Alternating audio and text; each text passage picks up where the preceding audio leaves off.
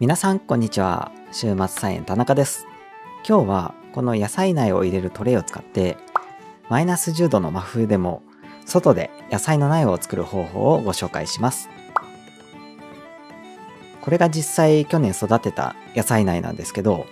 しっかりとした苗になっているのが分かっていただけると思います。ただ去年は畑の土を使って直接ポットで育苗してしまったんですがその時草とか苔とか生えてきてしまってそこはちょっと微妙だったなと思ったので今年は畑の土を使わずに培養土を使って育てたいと思います。あと一旦トレイで発芽させてからポットに植え替える方法で育ててみようと思います。使う培養土は3種類用意しました。種まき用の培養土を使えばいいんですけど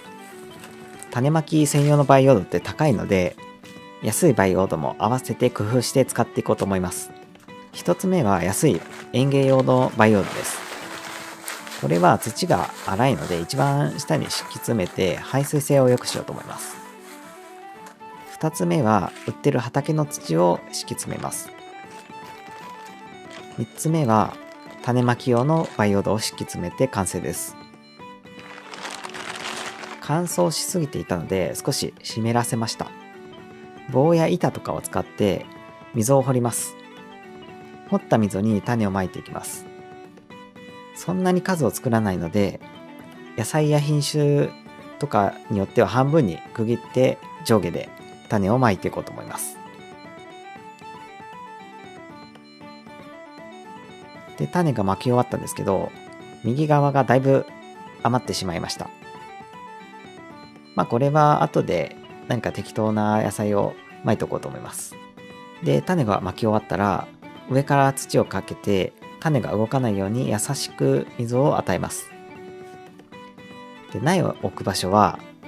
地面に直接置かずに、ハーフコンテナを置きます。で、ハーフコンテナの上に電気毛布を敷きます。これで冬の寒い時期でも寒くならずに育苗することができます。で、電気毛布だけだと水やりとかの時に濡れてしまうので、電気毛布の上に水がつかないように上にビニール袋をかぶせます。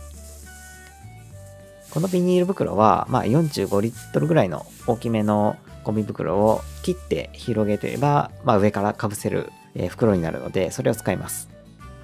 この苗床に種をまいたトレイを置きます。今回は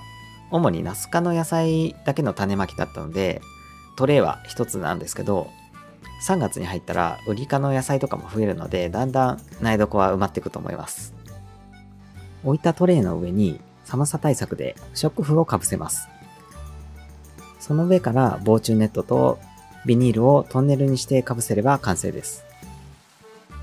防虫ネットは虫対策なので、まあ、なくても大丈夫です。ビニールは穴開きのビニールを使うと、日中高温になっても、その穴から換気ができるので、なるべくビニールに使うものは穴開きのビニールをおすすめします。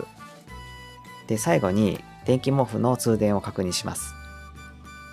日中は太陽の光で結構暖かくなるので、このタイマー式のコンセントを使って、夜から朝までの寒い時間のみにこの電気毛布をつけるように設定します。僕のおすすめの設定は、最初のうちは寒いので、今日の設定で、18時ぐらいから7時ぐらいまでつけるように設定しておいて、春に向かうにつれて気温が上がってくるので、